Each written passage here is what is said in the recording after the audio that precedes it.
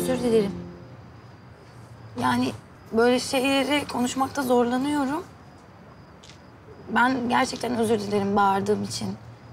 Kardeşimle alakalı.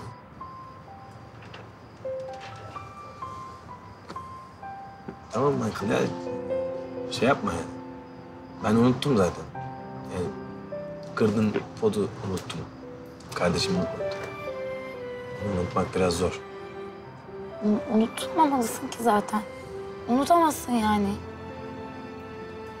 Bana baksana bir. Pişt.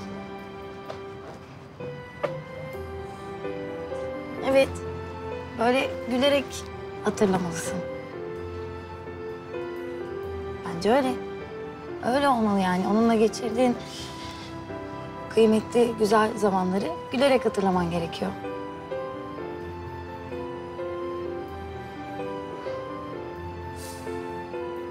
Benim aklıma bir fikir geldi. Söylüyorum. Bence kardeşini yad etmemiz gerekiyor. Yani onun sevdiği şeyleri yapalım. Birlikte gittiğiniz yerlere gidelim bu gece. Olur mu?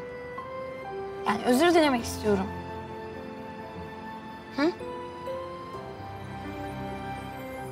Peki. Tamam mı?